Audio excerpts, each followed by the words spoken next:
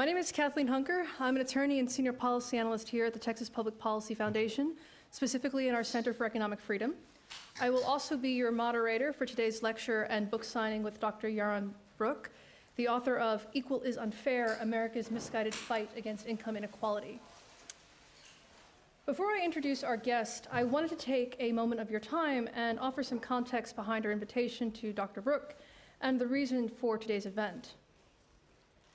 On January 28, 2014, the Fort Worth Star Telegram published a column under the headline, A Growing Divide Between Rich and Poor in Texas. Not to be outdone, the Texas Tribune released an article two days later entitled, A Growing Income Gap in Texas. The Dallas Morning News joined in on the fun, observing that Texas is a leader in income inequality too. And since that time, similar subject lines have appeared in almost every major Texas newspaper, each with the implicit demand that government step in and fix what they view as an imminent problem to prosperity in Texas and the United States. We at the Texas Public Policy Foundation have an expression for that balderdash. When you dig underneath the surface, you uncover that the Texas model, that combination of liberty, free markets, low taxes, tort reform, has done more to provide opportunity than any of the alleged policy prescriptions in the articles I just mentioned above. To give you a glimpse of this, I'm going to share a couple of statistics that my colleague Vance Ginn published in his paper, A Labor Market Comparison. For instance, Texas employers created 73% of the US total non farm jobs during the last 15 years. Unemployment has been below the national average since 2007. It has a greater share of its population employed than other large states like California and New York. And did you know that the inequality problem, if it could be called an inequality problem, is lower in Texas than compared to other populous states? The top 10% of earners in New York held 54% of all income from 2000 to 2012. Here in Texas, that number was 49%. By nearly every measure, the poor, the young, and the daring do better in Texas. So, why all the fuss about income inequality? Why the multi page spread? Well, I hazard a guess, and that is that the claim about inequality is really not about opportunity, uh, at least not in truth. Instead, the claim is a means for others to secure the moral high ground. It is a rhetorical device capable of setting a narrative, which, in the left's mind, leads to one conclusion, and that is government intervention. That is why we at the Texas Public Policy Foundation and all throughout Texas have to take a stand and challenge the story of income inequality and demonstrate that not only do free markets represent the better remedy to what inequality exists, but also challenge the assumption of whether inequality, or at least all inequality, is inherently unjust. Fortunately, today we have Dr. Yaron Brook with us, who has made it his vocation to answer the myths surrounding income inequality and he has agreed to come and give a presentation about his book, Equal is Unfair. Dr. Yaron Brook is the executive director of Ayn Rand Institute. He is the co author with Don Watkins of the national bestseller Free Market Revolution How Ayn Rand's Ideas Can End Big Government, as well as, of course, the book that we'll be discussing today How Equal is Unfair America's Misguided Fight Against Income Inequality. He is the host of the Yaron Brook Show, a live blog talk radio podcast. He was also a columnist for Forbes.com, and his articles have been featured in the Wall Street Journal, USA Today, Investors Business Daily, and many other publications throughout the net and in newspaper stands across the country. For seven years, he was an award winning finance professor at Santa Clara University, and in 1998, he co founded BH Equity Research. In 1987, he moved to the United States, where he received his MBA and PhD in finance from the University of Texas at Austin, making him, of course, a Longhorn. Anyway, Dr. Brook? Thank you.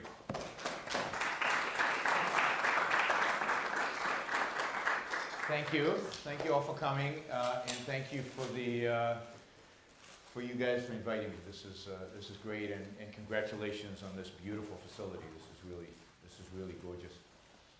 So, about three four years ago, I noticed a similar trend to what we just heard. The newspaper articles everywhere talking about inequality. And today, if you open up a New York Times, I know you don't do that in Texas, but generally, if you open up a New York Times, you won't find a day in which there isn't an article that describes some ill going on in the country and blaming it on inequality. Income inequality, wealth inequality. Uh, the Atlantic magazine just ran a story a few weeks ago of, of, a new uh, concept of inequality. They're calling it total inequality. And they're saying, look, it's not just income, it's not just wealth. It turns out that we're unequal in other things as well. We're psychologically unequal. Some people are risk takers, some people are not. We, there's even such a thing as marriage inequality. Have you heard about marriage inequality? It turns out that smart, educated men tend to marry smart, educated women. And this is just not fair because unsmart, uneducated men then have to marry unsmart, uneducated women, and that's creating a marriage inequality. And of course, the kids of smart couples tend to be better educated. It just goes on and on and on, right? And what they are observing, what all these people are observing, is a fact that you would have thought that the left would have figured out a long time ago. Because all you need are eyes to see this, but, the left doesn't tend to use their eyes very often. And that is that we're just unequal. That's just a fact. That's just reality. Look around the room. We have different skills, we have different abilities, we have different uh, education standards, we have different genes, we have different backgrounds. We're just different. We, that's metaphysical. That's the fact of reality. What they're complaining about is life. What they're complaining about is reality. It's not surprising that if we're all different, that we do different things and the outcomes tend to be different. Thank God for that. Right? Imagine a world without Michelangelo. Because we didn't allow Michelangelo to do his thing because he was unequal. He was good at it. Imagine if everybody drew and sculpted like I do. That would be awful. It would be a boring, horrible world. Or thank God for LeBron James, right? Some people are really good at basketball, and we all enjoy watching that. We're willing to pay large sums of money to watch it. I'm no good at basketball. It's good that there are these differences. You know, it's great to have great entrepreneurs who are good at creating values that generate wealth and that they accumulate that wealth. That's their skill. It's no different than LeBron James' skill. He worked very hard at it. It's no different than Michelangelo's skill. It's a matter of the skills you have, what your passions are, the hard work you put into it, the thought you put into it. There's no difference between being a great businessman, a great entrepreneur, being a great artist, being a great basketball player. They're all manifestations of hard work, the exercise of human reason, applying yourself, and making the best of your life you can make. We should celebrate these people. So, the left is claiming that this issue of inequality, let's take income and wealth inequality because that's the main thrust of it, is causing huge amount of damage to our societies. Now it's interesting because they don't try to prove this, they just state it. There is no economic theory that links e income inequality, for example, to low economic growth. There's a lot of talk about it, that a lot of uh, income inequality is generating low growth economies. No economic theory links the two. Not even uh, Keynes would have thought that made any sense. I dare even say Marx wouldn't even have thought that was true because he lived during a period. What happened during while Marx was writing, Karl Marx was writing? What was going on in the world? Industrial. And industrial revolution which generated huge inequalities, right? Think about this. 300 years ago, 300 years ago, before the Industrial Revolution, before the founding of America, what percentage of the population was poor? Poor in a sense of barely surviving, growing enough food to eat, maybe a little bit left over, working at a, at a trade where you got basically your basic necessities, but nothing more than that. What percentage of the population? Yeah, 90 plus, right? So there was vast equality. Vast equality. There were a few aristocrats up here, but almost everybody was down here and they were all poor. Equality the Gini coefficients were great. The left would have loved the Gini, Gini coefficients, a measure of inequality. And uh, Gini coefficients represented equality in those days, right? And what happened during the Industrial Revolution, during the time Karl Marx was writing, right? Inequality exploded. But what happened to poor people, right? It went from everybody being the same, right here, flat, right? Watch my hands. A magician, right? Right? Everybody got better off, but some got better off faster. Who cares? Right? So Marx would have said, and what was the economy doing in the 19th century in, in the West? Exploding. So economic growth was vast. So the idea that inequality increases generates slow economic growth is ridiculous. All you have to do is look at Hong Kong, look at the United States during the 19th century, look at Europe in the United States eh, eh, during the 19th century, look at China right now. China right now went from everybody being poor to having vast inequalities, and the economy's been growing at over 10% a year, right? So there's no correlation between the two. This is complete fallacy. And again, the left has learned that if they repeat stuff over and over and over again, we somehow accept it as truth. Partially because I think we on the right have failed to challenge them on so many things that they do. We've got to stand up to them and say, no, this just isn't true. What you're saying is a lie. So there's no, there's no correlation between, there's no relationship between inequality and economic growth. And I would argue that it's actually, if, if there is a correlation, it's reverse. How did the poor get less poor? Generally in, in, in the world, how do poor people become less poor or become middle class or become successful? What kind of economies generate that? Well, free economies. Economies in which entrepreneurs start businesses, create jobs, hire people, deploy capital to make those people more productive, and thus raise their wages and raise the wealth that they have. So yes, the entrepreneur himself gets fabulously rich, but while he gets fabulously rich, everybody else is better off. And I hate it when people call this trickle-down economics. Because it's not trickle-down, this is a flood. And it's not that you're granting the wealthy some favor, and it's some of those favors trickle down. It's that you're leaving the, the, the entrepreneur free to create wealth. By creating wealth, they're creating opportunities for everybody else. And people are taking advantage of those opportunities and rising up. So again, the opposite is true of what the, what the left is claiming. When you leave entrepreneurs free to make lots and lots of money, they help the poor by creating jobs. The poor who are ambitious, the poor who want to work and be successful, rise up with them. And yes, they're not rising at the same speed, but again, who cares? Why does it matter? So everything, everything that the left argues in terms of inequality, it just, it's just not there. It just doesn't make any sense. The economy doesn't grow any, fa- any, any slower because of inequality. The poor do better in economies where income inequality is rising than they do when it's shrinking, when that inequality is being driven by the free market, by actual wealth creation.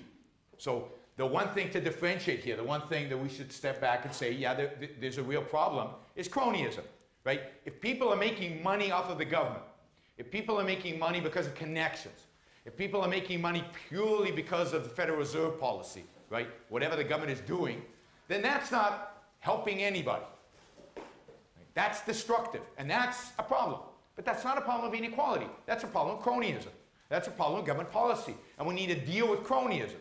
Just like there's no question there are problems with poverty, right? There, too many people are poor, and there seem to be barriers for people who are poor to rise out of poverty and the real problems of economic growth. Right? We'd like to see the economy growing. None of those problems, cronyism, poverty, or economic growth, have anything to do with inequality. They have everything to do with the kind of policies the left would like to implement in order to address inequality. So I don't even like to say, I never say the problem of inequality, because inequality is not a problem. There is no issue of inequality. We should basically say there's nothing about inequality that's a problem. There are problems of poverty, there are problems of cronyism, there's problems of economic growth. None of them have anything to do with inequality per se. The gap between the rich and the, and the poor, between the rich and the middle class, is irrelevant to any of the real problems we have in the economy. And let's, let's see what, what, what are the remedies that the left would like us to have for this gap? How do we, how do we solve the gap problem? What's that? Yeah, confiscate. The only way to solve the gap is to penalize people at the top and try to benefit people at the bottom. But the, but the most that's really done is to penalize the people at the top. I mean, I like to use the example of basketball. Um, so I, I'm really offended by inequality in basketball because uh, LeBron James is just too good, right? And I would like to be able to get on a basketball court with LeBron James and play one-on-one basketball with him and have a chance of scoring a basket. Now, if you'd seen me play basketball, you'd know that I ain't scoring any baskets against LeBron James as it stands now. So how do we, how do we get basketball equality between me and LeBron James? Because I feel bad. I, I want to be able to play basketball with LeBron James, right? This is all about feelings. This is all about not offending anybody. And I'm offended by LeBron James beating me 100 to 0. I need a safe space. Um, that's a reference to Brown University. Um, how do we do that? How do we take away his advantage? What would be a good way to, what's that? Put him in a wheelchair. No, we can put him in a wheelchair, strap him to a wheelchair. I mean, this is a civilized group. Usually somebody raises his hand very quickly and says, break his legs, right? Because that's what it's going to take. It's going to take penalizing LeBron James. It's going to take knocking him down. Because I could train all day. I could train every single year, and I'm never going to be anywhere close to good enough to play him. The only way to make us equal is to push him down. Now, in, uh, in a famous book about inequality, maybe the most famous book that's come out in recent times, um, uh, Thomas Piketty, the French economist, uh, wrote about the problems of inequality. Inequality is a disaster, it's a really bad thing, and he gives all the statistics and he has reams of data. It very much reminds me of the, of the global warming kind of discussion, the way he presents the data and what he does to the data. But his conclusion is we need to do something, right? And what, what's his, what's, what do we need to do? We need to break producers' legs. Now, how do you break producers' legs? You don't literally break people's legs. 80% marginal income tax rate, 80%, 80, with no loopholes. So he wants really you to pay 80% on the top dollar. But that's not good enough. That's not good enough, according to Piketty. What we really need to really address the issue of inequality is a 10% wealth tax. Global, so you won't be able to hide your money anywhere in the world. Every country will sign up to this. 10% wealth tax. So think about this. Every year, we'll calculate your net worth, and we'll take 10%. So just to keep even, you would have to earn 10% on your money every single year, right? Just to keep even. Now, Piketty writes in the book, it's not like this will generate a lot of money to help the poor. That's not his goal. But it will knock down the rich. That is his goal. So I think we have to understand what we're up against here. We're really up against people who are not trying to help the poor. They don't care about economic growth. What they really care about is knocking down success. What motivates them is resentment. What motivates them is envy. And you can, you can evaluate this just by looking at what their solutions are. Knocking 10%, 10% wealth tax does nothing for economic growth. It hampers economic growth. We know this because economic growth is driven by investments and saving. And you're taking investment and saving and you're consuming it through the government.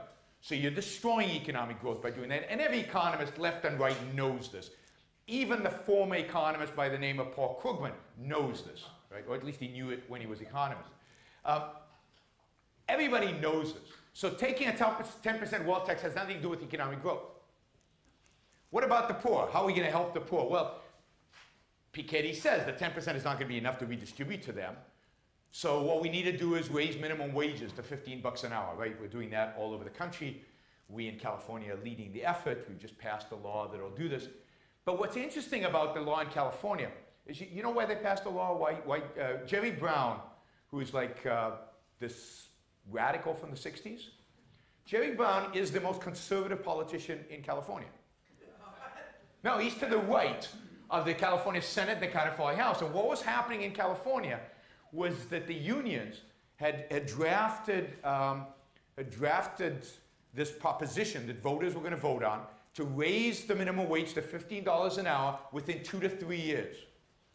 And even Jerry Brown knows how devastating that would be to the poor and to businesses in California. So what he did was negotiate with them and passed a law that does it over six and seven years rather than do it quickly. So the compromise was, and, and Brown is on record saying this, this is damaging, but we'll spread it out as much as we can to minimize the damage. Even a leftist politician like Jerry Brown knows that raising the minimum wage hurts the people you're trying to help. What happens when you raise the minimum wage? This is economics 101. What happens to any price you artificially raise? What happens to the demand for it? For that good? It goes down. If you raise the price of unskilled labor, what will happen to demand for unskilled labor? Goes down. Goes down. There's no way around this. Again, even Paul Krugman, a long, long time ago, when he was an economist, wrote an economics textbook in which he has a whole chapter dedicated to the minimum wage, in which he writes that the minimum wage makes zero economic sense. The only minimum wage that makes economic sense or sense in terms of helping poor people is zero. And that it's purely a political issue. Now that he writes for the New York Times, and he's a political hack, not an economist anymore, he is a big advocate of the, of the minimum wage. So here's a minimum wage. They want to raise it in the name of reducing inequality while they realize, they all know this, that all it does is create massive unemployment among the least, the most vulnerable in our society. In a city, minority youth are the ones that suffer the most from raising the minimum wage. One of the highest minimum wages in the world is in France. Guess who has one of the highest youth unemployment in the world? France. I mean, this is not hard stuff. This is pretty basic stuff. Yet everybody believes in the minimum wage. And, and unfortunately, it even polls well among Americans. Something like 60, 70% of Americans believe in raising the minimum wage to $15 an hour because they bought this story. They bought this story. So the left knows this. The left knows it's not going to help the poor. They don't care. It's not about helping anybody. It's not about helping anybody. What about cronyism? Cronyism is a big problem. It's getting bigger. It's getting worse. Um, and people are sick and tired of it. And a lot of the inequality discussion is about, is couched in the frame of cronyism. Does the left really care about cronyism? Does Occupy Wall Street care about cronyism? Right? You remember Occupy Wall Street? I always found it interesting that there was Occupy Wall Street, but there was never Occupy Detroit. Right? Because if I, if I cared about cronyism, I would want an Occupy Detroit as well, because they were bailed out. Why is Wall Street different, right? So what's interesting about the left, again, is that they want, they don't want bailouts of Wall Street. They just want to nationalize the banks, which is basically what Dodd-Frank, to a large extent, does. But they're fine with bailing out Detroit. They're fine with bailing out any industry that they think is a good industry. They just don't want, they just hate bankers. And what they want is more regulations, more government controls, a bigger government, which generates more what? Taxes. What's that? Taxes. Yeah, but in terms of cronyism, what, is, what does bigger government generate? More cronyism, right? Uh, my favorite story here is the Microsoft story. I don't know how many of you are familiar with the Microsoft story, but in 1994, um, Microsoft was spending exactly zero dollars on lobbying. No presence in Washington, no law firm, no building, they just weren't in DC. Nothing. And they were brought in front of the Senate. Senate hearing. Orrin Hatch, well, Orrin Hatch, a sen- Republican senator from Utah, stood up and he started yelling at the Microsoft executives. You guys need a presence in Washington, D.C. You need to start lobbying. You need a law firm here. You should build a building in inside the Beltway. We need you here. In other words, please, right? Please give me money. Black, you know. Microsoft, at the end of the meeting, the, the senior executive was there. It wasn't Bill Gates, it was a senior executive. They said, look, you leave us alone, we'll leave you alone. We're not interested. Right? they went back to uh, Bellevue in the uh, state of Washington, and guess what happened? Six months later, Knock, knock, knock on the door. We're from the antitrust division. And what is your sin, Microsoft? What was Microsoft's sin? What? Internet Explorer giving it away for free. It was called dumping, right? They're trying to corner a market. How many, how many, how many web browsers do we have today? I don't know, half a dozen at least. How many of them charge money? Zero. So all that was happening was Microsoft was ahead of the curve, realizing this was going to be something that was going to be bundled and free. But that was the original Justice Department accusation against Microsoft, was that they were giving something away for free. For 15 years, uh, they were part of this settlement with the Justice Department. They had regulators at the Microsoft offices. Every decision Microsoft made had to be approved by regulators. Whereas in 1994, Microsoft was the largest company in the world, the most innovative company. Uh, people excited about going to work there.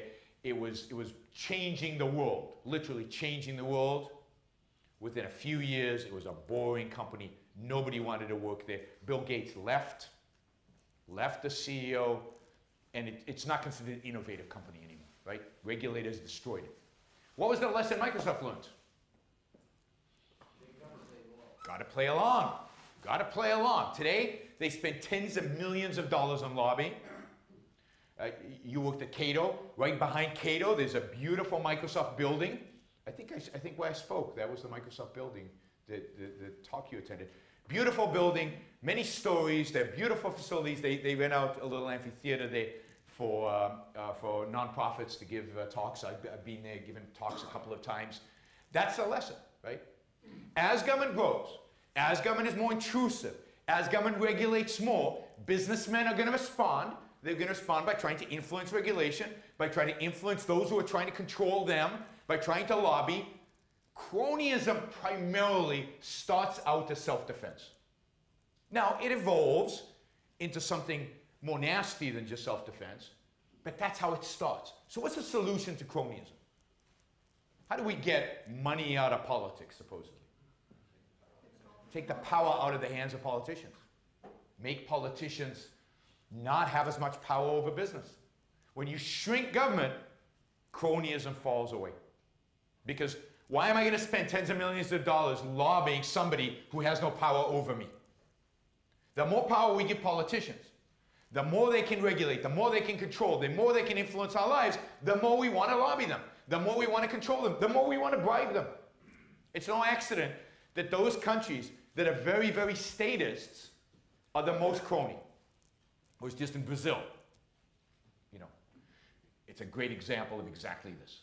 If you're in business in Brazil, you have to have contacts with the government because you cannot do business unless the government gives you a thumbs up. So the solution to cronyism is not the left solution, more regulations, more controls, you know, uh, a campaign finance reform and so on. No, it's shrink government. It's limit government. When government in the United States was very limited, did very few things, didn't get itself involved in business, didn't try to regulate, didn't try to control, businessmen for the most part left government alone. If we want to eliminate cronyism, that's what we have to return to. And by the way, I hate the term crony capitalism. Capitalism isn't crony. Statism is crony. There's more cronyism in socialism. There's more cronyism in fascism. There's more cronyism in statism, in big state, than there ever is in capitalism. Because again, capitalism is a system where the government is tiny. It does one thing really, really well. That's protect us. The military, the police, the judicial system. That's pretty much it. That's real capitalism. And under real capitalism, there's no cronyism. So if we want to fix the problem of cronyism, smaller government. If we want to fix the economic growth, smaller government, right? What's hampering economic growth in the United States today? Regulation, regulation, regulation, and a crazy tax code that distorts everything, right? So regulation, if you cut regulation, if we did away with regulations, if we cut taxes and simplified, more important than cutting taxes is simplifying taxes, get rid of all the loopholes, the exclusions, the deductions, just make it simple and flat and easy, particularly on the corporate side, on the business side. There's nothing preventing this economy, the US economy, from growing double, triple, quadruple the rates it is growing today. What's hampering is the fact that as businessman, you are being constrained, you are being restricted. Nobody wants to grow their company in an environment with the kind of political and economic uncertainty that exists today because of government. You want to help the poor? Get rid of minimum wage laws. Want to help the poor? Get rid of licensing laws. Think about licensing laws. Now, I don't know, Texas is probably a little bit better, but probably only a little bit better. In California, you need a license to shampoo hair. Who does that hurt? Who does that help? Nobody. But who does that hurt? It hurts a poor person who's trying to get that first job. And shampooing hair is easy, you don't need any skills. So now you need a license. Now she needs to take a course, probably costs that thousand bucks. Forget it. She's not going to get that first job. Or you need a license to start a nail salon. Right? Really, we need protection from the evil nail salons, and we need government regulators to license them to make sure that we don't get fungus or whatever it is that you, you, the nail salons can inflict on us. Right? I, I love Uber, just as an aside. I love Uber because Uber has taught us not to be afraid of taxis. Right? Because we, we'd be terrified of taxis. I mean, taxis, I mean, who knows what will happen in a taxi? That's why we need government to regulate taxis, control taxis. Everything a taxi does is regulated and controlled because we've been afraid of it, right? That's why. Now Uber's come around and taught us not to be afraid. You can actually get into a car and you get driven to where you need to go and nothing happens to you. And no government regulator stood in between the two of you. Right? It happened without government regulation. Wow, maybe we can even reduce the regulations on taxis now. What a thought. I, technology is showing us, the, the, showing, I think this group knows it already, but showing many Americans that they don't need government in order to get good service. There's this notion that somehow we need government to protect us, otherwise bad things are going to happen to us. Well, maybe no. Maybe it turns out that we can actually regulate ourselves. You know, when you get out of an Uber, what do you do? One of the first things you do is you rate the driver, and the driver rates you.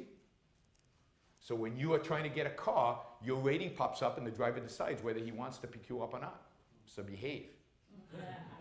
but I get into Uber and often I get offered a, a, a, bottle of water. When was the last time a taxi driver offered you a bottle of water? This is capitalism. This is what happens when you get the regulator out. You get great service, you get great growth, you get entrepreneurship. That's what we need. We need to get the regulators out of business and business will grow the economy will thrive. So if we want to help the poor get rid of all those licensing laws, get rid of all those restrictions, and encourage entrepreneurs, not encourage them by giving them money, not encouraging them by subsidizing them, encourage them by getting out of the way. And let that, not trickle down, that flood down happen. Let jobs be created. The best thing you can do for ambitious poor people is create opportunities. And government doesn't create opportunities. Government can only destroy opportunities. You create opportunities. We create opportunities. Businessmen create opportunities. Entrepreneurs create opportunities. We are the entrepreneurs are the only people who create opportunities. Business creates opportunities. So let businessmen create those opportunities. And yes, they'll get richer faster than poor people get richer. Who cares? Why does the gap matter? And I'll say one more thing about getting rich. Now, I should I, typically I talk about things that I actually know something about. I'm not sure I know a lot about getting rich because I haven't done it myself. Um, but how do you get rich? What's the what's the secret of getting rich? Making a lot of money. How did Bill Gates get 70 billion dollars? How do you get rich? What's that? Helping others. Yeah, in a sense, helping other people. You get rich by creating values that other people want and are willing to pay more for than what it costs you to produce. It's very simple. The only way to create become rich is to create values that other people desire, that other people want and are willing to pay for. In other words, the only way to get rich is to make other people's lives better. Because I paid $300 for this, right? How much is this worth to me? More than 300. And it turns out much, much, much more, right? But I'm happy to pay $300 and I am better off by, by buying this, right? By the way, poorer. According to, according to Piketty, I'm $300 poorer, but I'm richer because I've got an iPhone. Steve Jobs, Apple, is richer because they made a profit. It cost them less than, a lot less than $300 to make this. Who lost? Nobody. It's a win-win transaction. So I won, Apple won, even their employees in China won, yeah, the ones they're supposedly exploiting because they're getting paid more than what their time is worth to them in any other activity. Everybody along the supply chain wins when I buy an iPhone. Win-win. And the way people make money is by creating beautiful things like this that I value and you value. And the more people value the stuff that you produce, the richer you get. The only reason Bill Gates may, is the richest man in the world today is because everybody on the planet is better off because of Microsoft. Microsoft, there's not a human being on the planet almost that hasn't been touched by Microsoft in one way or the other. We all use computers, they're all standardized. We use Microsoft software everywhere. Even if we don't use Microsoft software, we're using software that ultimately was competing with Microsoft or that mimics Microsoft. Microsoft changed the world for the better. So Bill Gates made $70 billion. Why would we ever resent that? We should celebrate that. When I look at somebody wealthy, I say, that's cool. They made something that's probably made my life better. I admire that. I respect that. I don't resent that. But you see, that's exactly what the left, that's exactly what the left wants us. They want us to resent it. They want us to be Europe. And I, will end with this. The real goal is to turn us into Europe. Now let's, let's talk just a little bit about Europe. Why is it in Europe people resent wealth? They really do resent wealth. And if you go in Scandinavia, if you're wealthy in Scandinavia, you know wealthy people in Scandinavia, they don't drive nice cars. Because if they drove nice cars, they would be keyed. And, and sometimes our cars are keyed, but everybody frowns upon keying a car in, in, in Texas and even in California, right? But in Scandinavia, that's acceptable. To key a beautiful car is acceptable because they resent wealth. Why? Well, think about where wealth traditionally, and, and Europe has a long tradition, came from. So four five hundred years ago, how did you get wealthy in Europe? You were born into it. So, but, but where did your forefathers get the wealth? From the crown. But where did the crown get the wealth? It stole it. All wealth in Europe pre-industrial revolution was stolen. We really did live in a zero-sum world. If I was rich, it was because you were poor. Because you probably worked the farm and I was truly exploiting you. You know, uh, serfs and masters, that's exploitation. That's not capitalism, that's not freedom. So in most fallacy, in my view about Donald Trump, fallacy in my view about Donald Trump, not that I want to talk about politics, is the zero-sum nature of what he he views deals. When he talks about deal making, he views winners and losers. If you're really a good businessman, fallacy in my view about Donald Trump, not that I want to talk about politics, is the zero-sum nature of what he he views deals. When he talks about deal making, he views winners and losers. If you're really a good businessman, when you do a deal, do you want the other side to lose? No, you want them to win. Maybe, maybe you want to win more. Maybe you're going to make a, a bigger, but you want to leave something on the table for the other side always. You want win-win transactions. This is true in life, true in marriage, true in friendship, and true in business. Win-win. Both sides should come out of the transaction better off. Right? But pre-capitalism, it was all win-lose. Zero sum world. So they have this resentment. Wealth in their mind is associated with theft.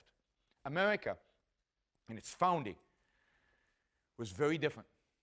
Because we were the first country in history founded on the principle of individual liberty, on the principle of individual freedom. And what that generated was a reality of win win transactions. What that generated was capitalism. And Americans created the term, Ayn Rand talks about this in Atlas Shrugged in the famous money speech, in America, we make money. We create wealth. We don't take, we make. And for the first time, entrepreneurs in America were perceived with respect, with admiration, because they created the wealth. They didn't take a pie and divvy it up differently. They created a pie. And under freedom, we each create our own pie, and nobody has a right to take it away from us. Statists view the pie as social and they just divvy it up. And it's a question of how do we divvy it up. But no, under freedom, every one of us creates his own pie. And that's what makes America unique, has made America unique in the past. We make money, we create wealth as individuals, not as a group, not as a collective, not even as a nation, as individuals. And we have a right, a right protected by our Constitution to the pie that we make. And nobody has a right to take it and redistribute it in the name of some social good, which is never a social good, which is always destructive. So, what we who defend America, us, we on the right more broadly, we cannot accept the terms of the left. We have to reject the whole terminology of inequality. Inequality doesn't matter, is irrelevant. What we stand for is freedom. What we fight for is freedom. What matters is freedom. Freedom is good for poor people, middle class people, rich people. It's irrelevant. Freedom is good, period.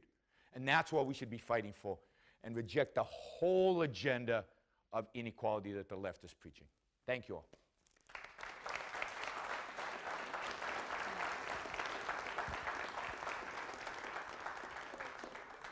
All right, so we've got some time for, for questions, and we've got a microphone, so.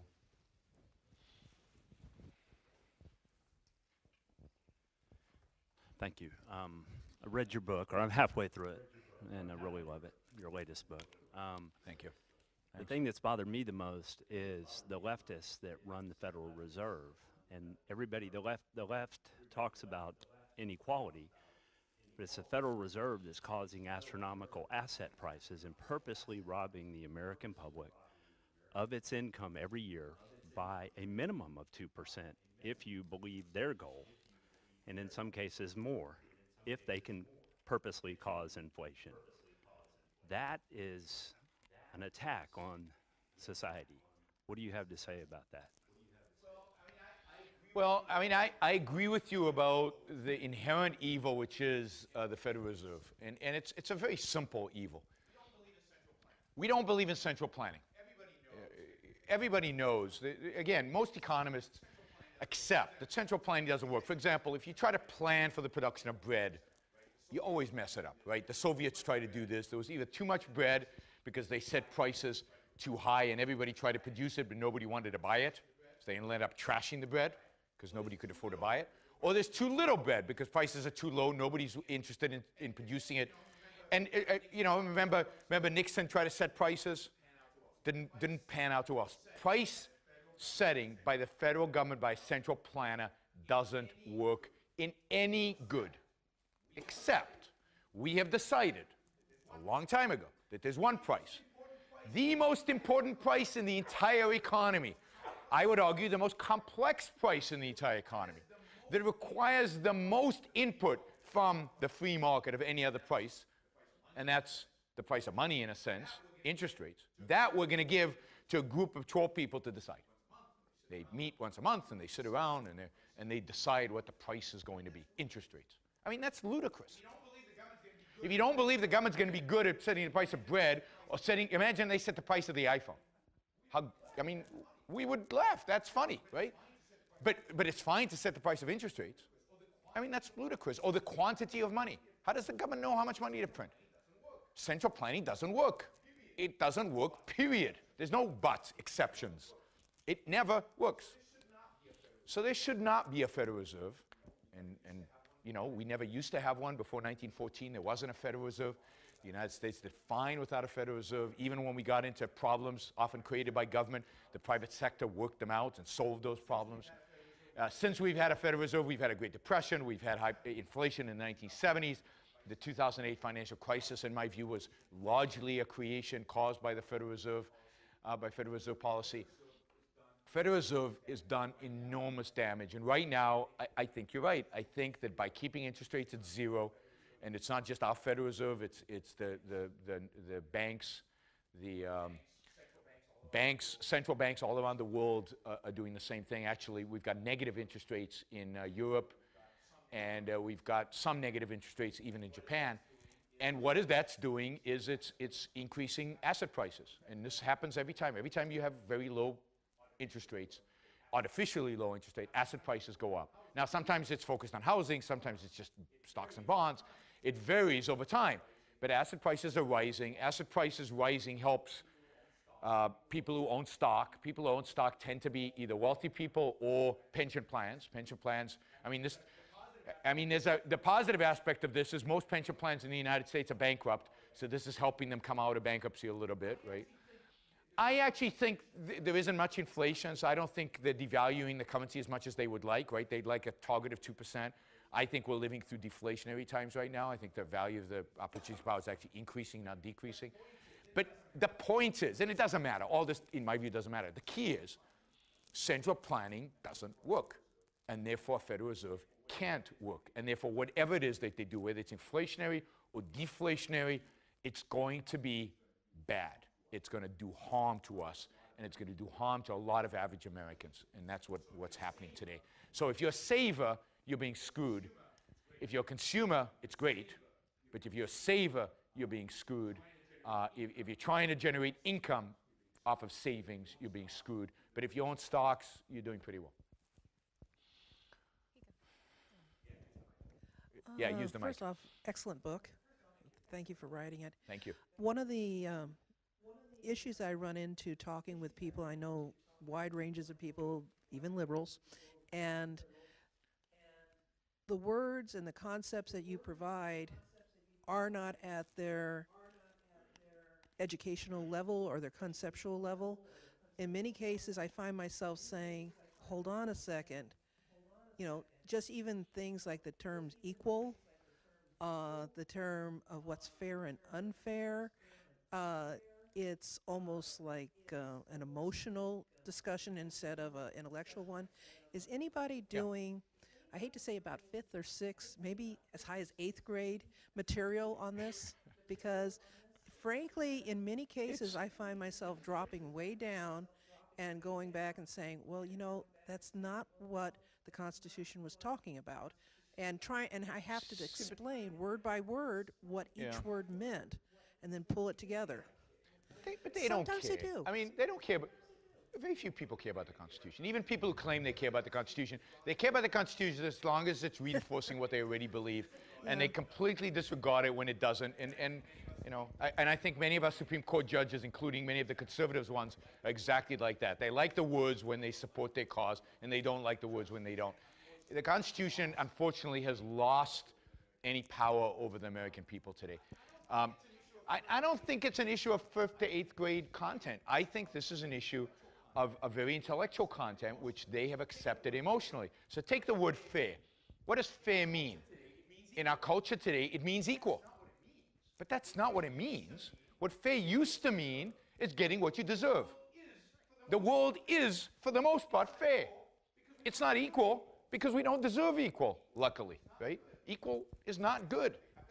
And I could, I, I've got a lot of great examples of why equal is not good if you're interested in them. But, you, know, the LeBron James example is a good example of it. Equal is not a value. There's no value in equal outcome. Now, there's one sense in which equality does matter, and this is part of their confusion. Right? In the, in the Declaration of Independence, the Founding Fathers wrote, all men are created equal. Now, they did not mean that we are equal in outcome. They didn't even mean that we had equal opportunities, because we don't. We have different genes and different parents and different backgrounds. Our opportunity sets are going to be different. What did they mean? Political equality. We are equal in rights. Every human being, and unfortunately, they weren't consistent in applying this, but the theory was consistent. Every human being is born with a right to his own life, to live it as he sees fit, to pursue the values necessary for its own survival and thriving. The state has no right to discriminate between people. The state has no right to coerce people into doing things that they don't agree with. The whole idea of, of e- equality for the founders was equality of liberty, equality of freedom, equality of being left alone, equality before the law. And nobody knows this, right? Nobody talks in these terms. And the left capitalizes it. So they throw out ideas of equality. And who's not for equality? Equality is great, right? What kind of equality? What are we talking about? And then they mix them up. Who's not for fairness? We're all for fairness. Oh, but I've redefined fairness now. Fairness means equality of outcome. They're very clever. It's just like the word liberal. The word liberal used to mean pro liberty, it used to mean capitalism. In the 19th century, liberals were capitalists. And in America, it's still true. Liberals in Europe are the more freedom oriented, liberals in South America are the more freedom oriented. In America, the leftists hate the word liberal and flipped it upside down. Who are the real progressives in the world? We are. I'm all for progress. They're the ones who want to kill progress. I love progress. But they want to destroy progress. The, the whole environmentalist movement is built on the assumption of destroying progress, right? And they call themselves progressives. They have taken words and we never challenge them, and we need to challenge them. And we need to go back to the roots in that sense. And we need that, but it's not an issue of writing it for fifth and eighth. It's, a, it's an issue of defining your terms and teaching people what terms actually mean. And we have to do that over and over and over again.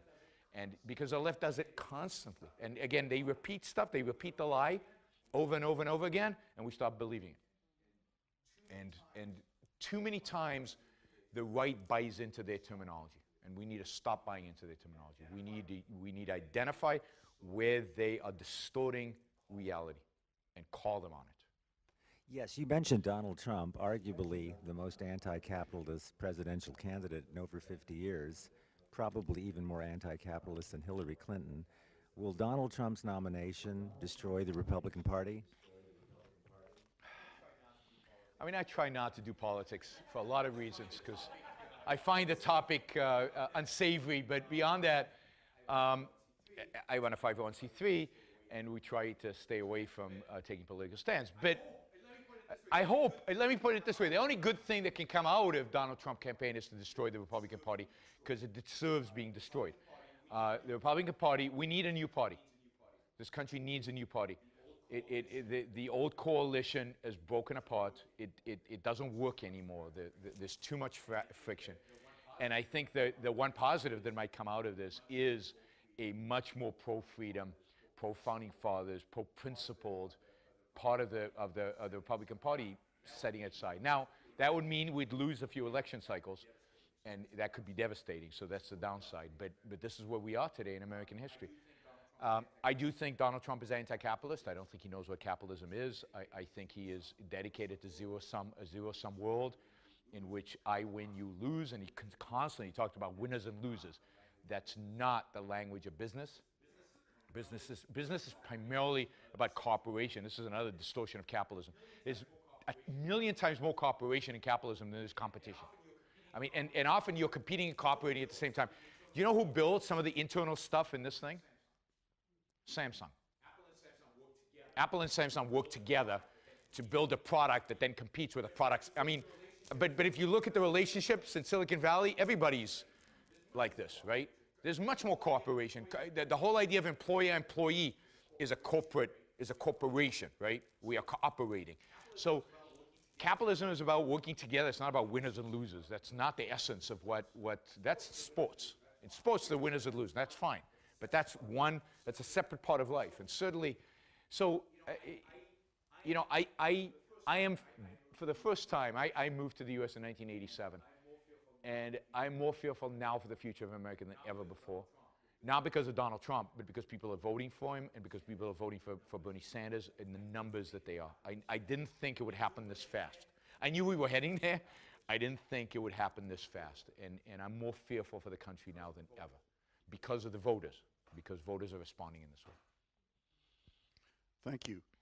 what would you say to, you've mentioned Bill Gates a few times, what would you say to him and to people like Warren Buffett when they go on record saying that they'd welcome higher taxes on themselves and similar sure. earners? Sure, I mean, with Warren Buffett, I would ask him, uh, you know, because he's such a hypocrite. Uh, I would ask him why he does everything in his power to shield himself from paying taxes, which he does. I mean, he is the master at, at finding every loophole in the world. And, and uh, actually, uh, the cover, I think it was the front page of the Wall Street Journal over the weekend, had a picture of me and uh, Warren Buffett's former number two guy. And one of the reasons the guy is the former number two guy for Warren Buffett is because they philosophically constantly cl clashed. And he is a big, he's a big uh, Ayn Rand uh, fan. Um, David Sokol, and that was on, I think, Saturday's Wall Street Journal. Um, Warren Buffett is an interesting guy. Bill Gates, uh, my understanding of the relationship between Bill Gates is that Bill Gates has been corrupted by Warren Buffett. They, they have a almost father-son-like relationship, and that Bill Gates looks up to Warren Buffett as a fatherly figure, and Warren Buffett has corrupted Bill Gates. Warren Buffett is very intellectual. He's very smart. He's read. He's well read. And Warren Buffett is clearly influenced by a, a well-known American philosopher by the name of John Rawls, who taught at Harvard for many, many years. When you listen to Warren Buffett, he is talking Rawlsian language. He talks about the fact that he is lucky. All his wealth is a consequence of luck. We talk about this in the book uh, because we, we dissect the whole luck argument in the Rawlsian, because this is the same argument as you didn't build that. It's a very similar argument, right? He was born with the right genes to the right parents in the right century so that his particular skills would make him a lot of money.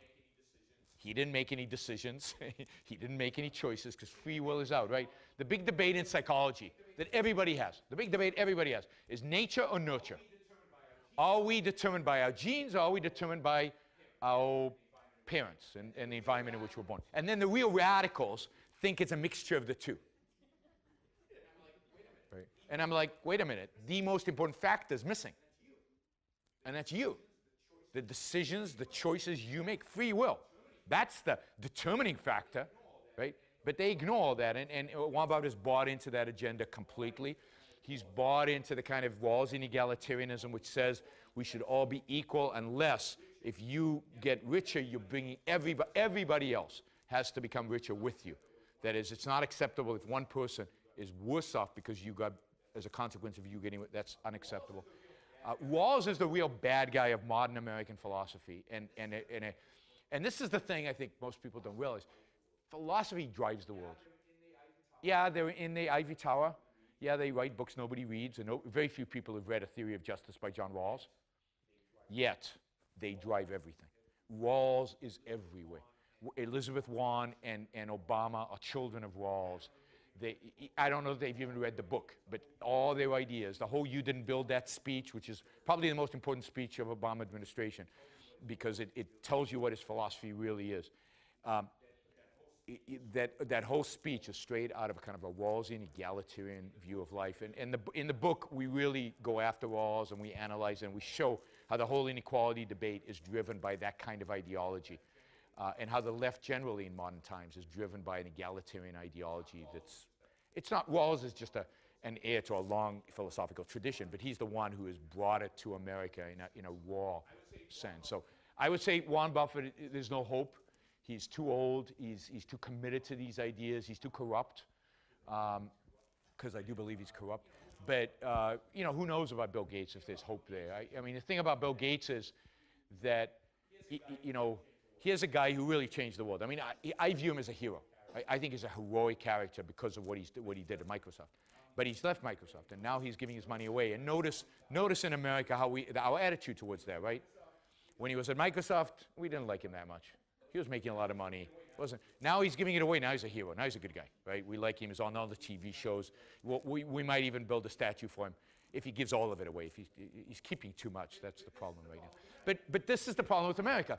We admire, we admire giving, but building and making and creating, eh. I, I, I once attended a, um, an award, a Lifetime Achievement Award for businessmen in Charleston, South Carolina. Can't accuse these guys of being liberal, right? And everybody was reading long bios. And they were eight minutes, two minutes about their business achievement, eight minutes about their community service and charity. And I got up and I told them they should be ashamed of themselves. Because life is not about community service and charity. Charity and community service are nice, they're wonderful, good, good for you, right? But that's not where you change the world. It's not where you matter. It's not what, that's not what matters in your life as a business. And it's what you do in business that matters. It's the money making that changes the world. America did not go from a third rate colony to the most powerful economy in human history because of charity and community service, but because of businessmen, because of wealth creation. Okay, I think I'm out of time. Do we have time for this last question? Okay, last question. Hi. Uh, so you described historically uh, from Industrial Revolution how innovation, you know, grew the top but also grew the bottom. and that was largely Yep. from people being more productive from capital and technology. Yep. You know, going forward, it's not difficult to envision a world where technology replaces unskilled labor, and you know you've got the Yep. Uber driver becomes a driverless car. You already order with an iPad, and what if the cook starts to be a you know a robot? And so just the question of Sure. you know to your comment, we are inherently unequal, and there's a natural bell curve of just raw ability.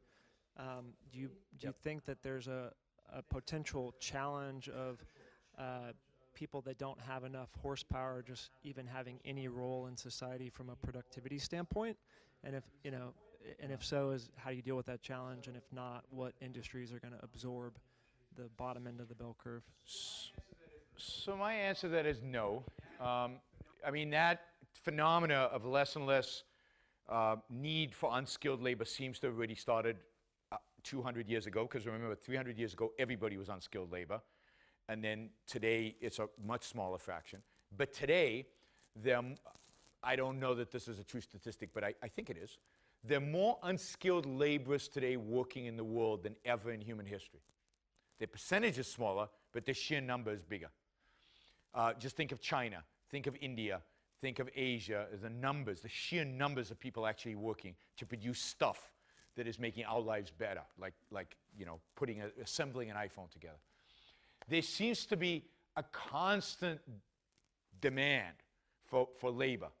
And uh, you know, one of the uh, one of the untold stories of the last 30 years. This is not exactly answer your question, but anyway, of the last 30 years that nobody reports on and nobody celebrates is the fact that a billion people have come out of poverty in Asia over the last 30 years. A billion people, not because of foreign aid, not because of charity, not because of any of that, but because of capitalism.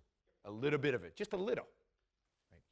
But let's imagine a world. So all we can do to, to think about the future is, is, is look at the past, right? So in the past, we were all working. Now we can project the future, but the past is a good lesson about. Um, a long, long time ago, let's take some jobs that didn't exist 100 years ago. A restaurateur, that profession didn't exist. I know you walk around Austin, there are like hundreds of restaurants, right? Thousands of people employed as waiters in Austin, Texas. That profession didn't exist 100 years ago. Yeah, there were some inns, there were a few pubs, but there were no restaurants, and certainly no celebrity chefs, right? And there's an unskilled labor job that, yeah, at some point you could replace with, with robots, but that's way out there.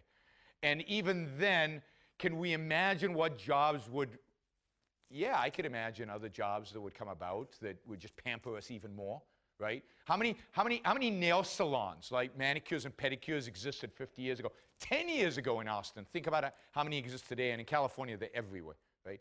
So, um, the kind of things change constantly and they change to make us more and more comfortable. For example, more and more people are going to be in the entertainment business than ever were in the past. Already, more people are entertaining us than ever were in the past because we have free time. So I can imagine a world in which we only work 20 hours a day, maybe. Or some of us only work 20 hours a day. We live at fabulous standard of living and we're entertained and we're provided with, with food and we're provided with from people, right? So I don't see a point at which there's no work. You're always going to come up with new stuff. There's always going to be new things that need to be done. And yes, it's true that over time, there's more and more focus on the human mind. And that's a good thing. But luckily, we all have one. And even those who have lower ability will be able to do jobs that are going to be more fun, more interesting at whatever level of ability they have. There'll be less grudge work. You know how many people in America produced food 100 years ago? Something like 80% of all Americans were in agriculture. You know how many people today? Less than 1%. And do we produce more or less food? More. And, and I have to do this because of Donald Trump. Um, how many people today work in manufacturing? More or less. I mean, everybody says less, right? So manufacturing employment peaked in 1979. Manufacturing jobs have declined in America. Guess how much stuff we make in America? Stuff. Double. We make double the number of things. So manufacturing in the United States has increased, and the number of people working in manufacturing has decreased, which is a good thing. Manufacturing jobs suck, right? You kind of, it's physical.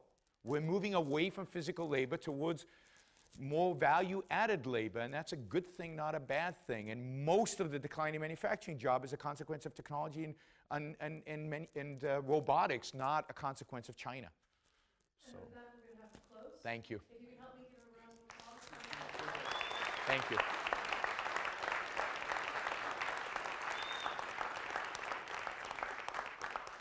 Today's lecture and book signing is just one of many events that we hold at the foundation throughout the year. We have two upcoming pretty soon. There's going to be a book signing of Broken But Unbound with Governor Greg Abbott on May 18th at 1 p.m. We also have Dare to Care, expanding the scope of medicine, sorry, scope of practice to fill in the gaps in mental health workforce, and that'll be on May 24th at 11:30 p. 11:30 a.m. To register, please visit texaspolicy.com and click on the events. Otherwise, if you'd like to talk to our lecturer any further, you can go into the foyer. He will have books on sale, and please feel free to pick one up and get one signed. But thank you again for coming, and we hope to see you at future events.